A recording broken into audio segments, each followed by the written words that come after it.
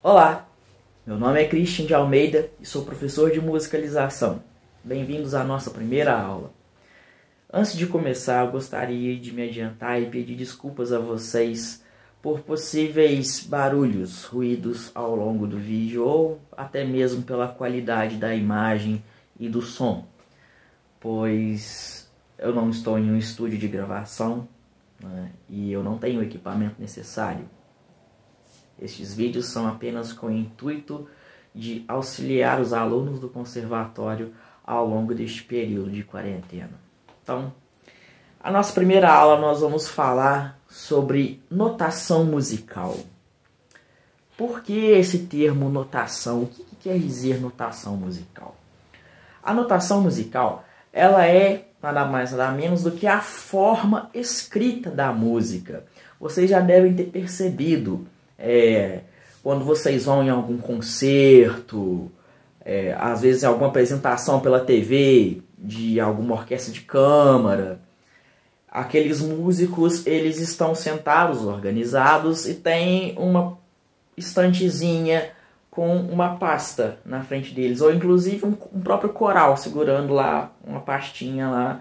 Aquilo que eles estão lendo é a partitura da música, é a forma do que eles estão executando, é a forma escrita daquilo que eles estão tocando ou cantando. E dentro da notação musical existem vários símbolos musicais, dos mais modernos até os mais antigos, né? eles foram evoluindo.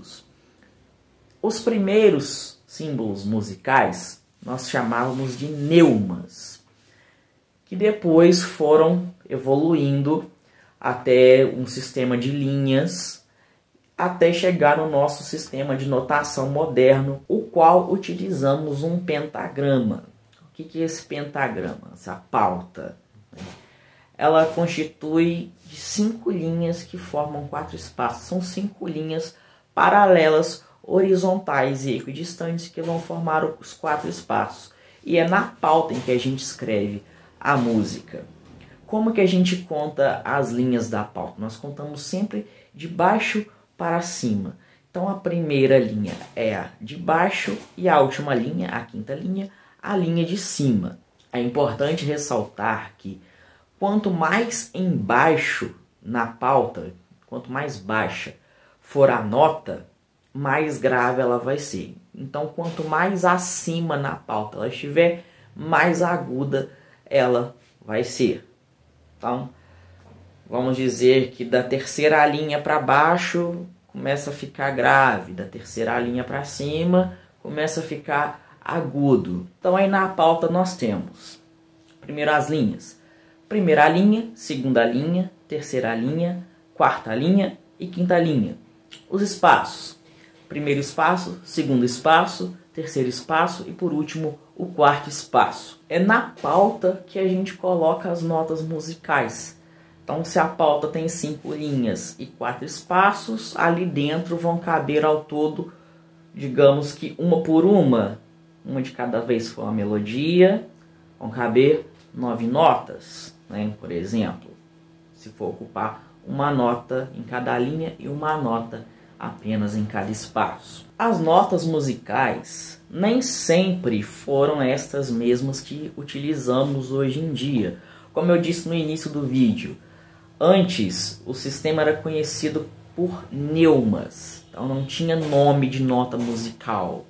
São, eram vários gráficos com nomes como, por exemplo, virga, pés, clives, eram esses nomes. Quando as notas, esse nome que a gente conhece hoje de Dó, Ré, Mi, Fá, Sol, Lá, Si, essas sete notas, elas se originaram de um hino a São João Batista, que foi o Guido d'Arezzo, d'Arezzo, não sei qual a pronúncia correta, que transformou este, este hino, as primeiras sílabas de cada pedaço deste hino, nas notas musicais que conhecemos hoje. Eu vou deixar um, uma parte né, do hino de onde foi extraída essas notas para vocês conferirem.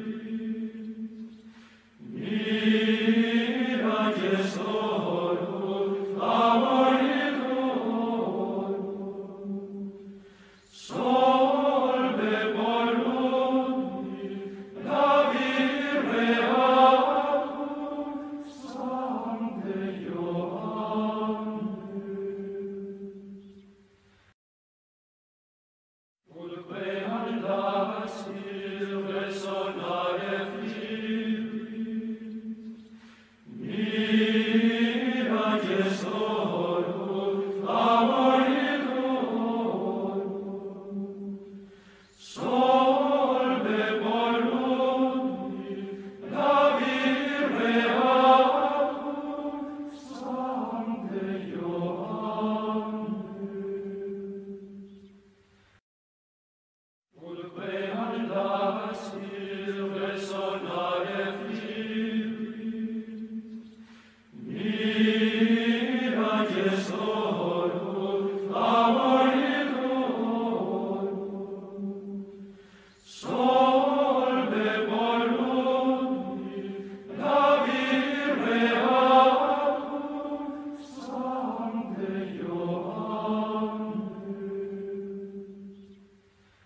As notas ou sons musicais são inúmeros.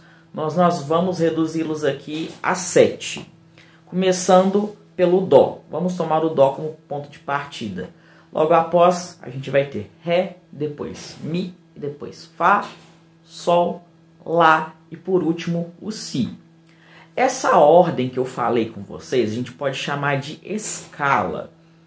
Se eu fosse fazer uma escala de Dó maior, por exemplo, eu começaria do Dó e terminaria em outro Dó, num Dó mais grave até um Dó mais agudo, ou do Dó mais agudo até um Dó mais grave. Seria uma sequência de oito notas. Eu falei sete notas musicais, lembra? São sete notas musicais, como que eu vou colocar oito? A oitava nota vai ser o Dó. Vou repetir o Dó. Olha como é que vai ficar. Dó, Ré, Mi, Fá, Sol, Lá, Si, isso subindo. Chegou lá em cima, Dó. E vamos descendo agora. Dó, Si, Lá, Sol, Fá, Mi, Ré, Dó. Então esse movimento subindo aí, ó, esse movimento que a gente fez subindo de Dó a Dó, Dó, Ré, Mi, Fá, Sol, Lá, Si, Dó, a gente chama de movimento ascendente, porque subiu. Agora descendo, Dó, Si, Lá, Sol, Fá, Mi, Ré, Dó, é um movimento descendente, porque está descendo. As sete notas musicais, Dó, Ré, Mi, Fá, Sol, Lá e Si, nesta ordem, repete-se tanto para este exemplo a seguir, ele ilustra uma sequência adotando diferentes notas como ponto de partida. Vamos começar aí pela nota Dó. Logo após a sua vizinha aí vai ser Ré, depois Mi, Fá, Sol, Lá, Si, Dó e Ré. Mas, se eu começasse a nomear essa nota aí, ao invés de Dó, eu nomeasse ela Fá, a sequência já seria outra. Seria Fá, Sol, Lá, Si, Dó, Ré, Mi, Fá e Sol. Mas ao invés de eu nomear essa primeira nota de Fá, se eu resolvesse nomear ela de Si, a sequência voltaria a mudar. Seria Si, Dó, Ré, Mi, Fá, Sol, Lá, Si e Dó. Pessoal, por hoje é só. Eu não pretendo deixar as aulas muito longas, vamos deixar os vídeos mais curtinhos. Na próxima aula nós vamos dar continuidade a este assunto, nós vamos falar sobre as claves e aí sim as notas em cada clave, cada posição delas. Então, bons estudos e até a próxima aula.